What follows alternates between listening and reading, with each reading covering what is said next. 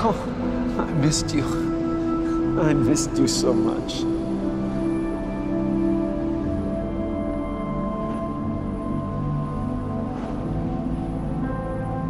You're the only one who can fix this, Jodie.